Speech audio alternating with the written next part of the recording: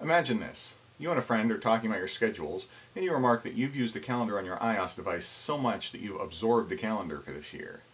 You offer to prove it by having your friend name any date this year. After they name a date, you explain that you used to pull out your iPhone, turn it on, go into the calendar app, and look up what day of the week it was. However, without even turning it on, you're able to give the correct day of the week for the date your friend gave. The secret is in the case design. While the case may look like a simple dice design, it holds the secret to giving you the day of the week for any date this year. How? When you pull out your iPhone as an example of what you used to do, you take a quick look at the dice design. Each die represents a month in the year. The upper leftmost die represents January, the next one February, and so on from left to right, then top to bottom, until we get to December at the lower right. This order helps you find the month you need quickly.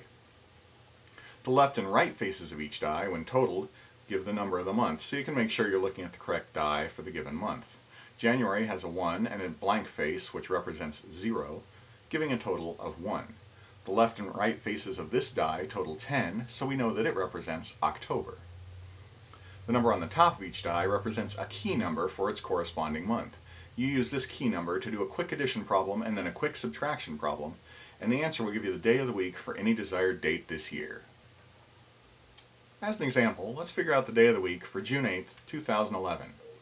June is the sixth month, so we need to make sure we're looking at the die whose right and left faces total 6. On top of that die is a 2. So how do we use that key number? The first step is to take the key number and add the date you're given. In this case, we take our key number of 2 and add the 8 that represents the date. 2 plus 8 is 10. Since a week is only 7 days long, we need to reduce this number so that it's less than 7. We do this by subtracting the nearest multiple of 7 that is equal to or less than our total. At this point we have 10, so we subtract 7. 10 minus 7 equals 3. 3 is the answer we need, but what does it mean? After going through this process, you always wind up with a number from 0 to 6, and each of those numbers corresponds to a given day in this simple way. 0 equals Sunday, so you can think of 0 as representing None Day, a play on both 0 being equal to none and nuns whose primary worship day is Sunday. 1 equals Monday, so think 1 day equals Monday. 2 is Tuesday, which is its own mnemonic.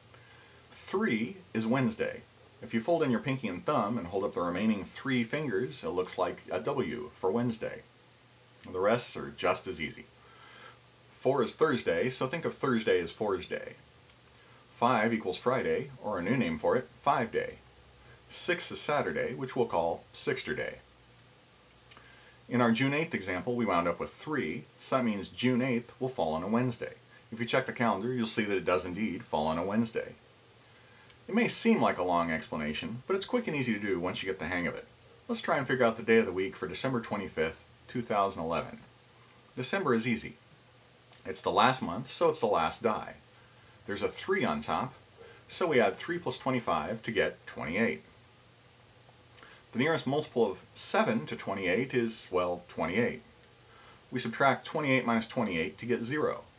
And as you remember, 0 represents Sunday, so Christmas 2011 falls on a Sunday.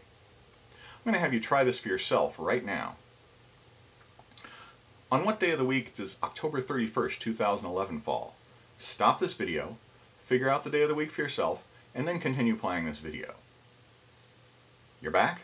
The answer, October 31st, 2011, falls on a Monday. Is that what you figured? October is the 10th month, so we look at this die. On top of that is a 5, so we add that to 31 to get 36.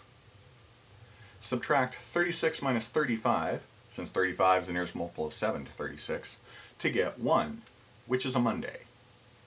With a little practice, the Dice Calendar iOS device cases provide a quick and fun way to amaze your friends on the spot. We've been using the iPhone 3G case as an example here, but we also carry cases for the iPhone 4, the iPod Touch, and the iPad. Prices start at only $19.99, and you can purchase them at the link in the information box associated with this video.